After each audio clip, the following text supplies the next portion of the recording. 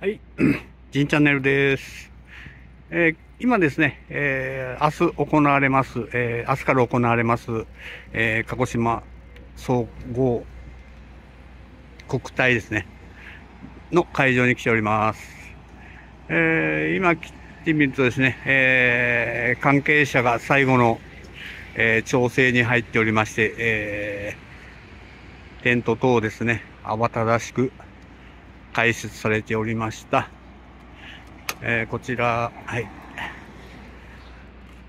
桜島が見えておりますね。はい、少し噴火しております。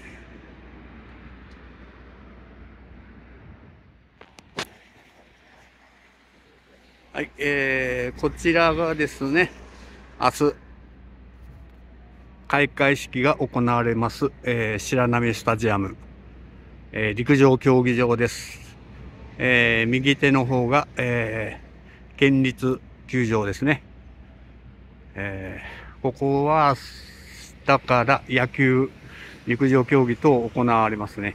え開会式には天皇陛下、天皇皇后両陛下もお見えになってご挨拶される予定になっております。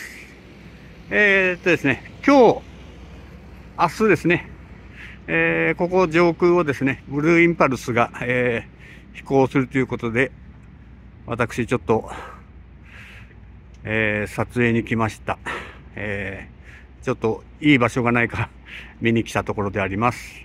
また夕方、えー予定では、えっ、と、3時半前後に飛行という予定でしたので、えーもう少しありますが、えー今12時前かな。えーまた、夕えー2時半ぐらいになりましたら、ライブしたいと思います。よろしくお願いします。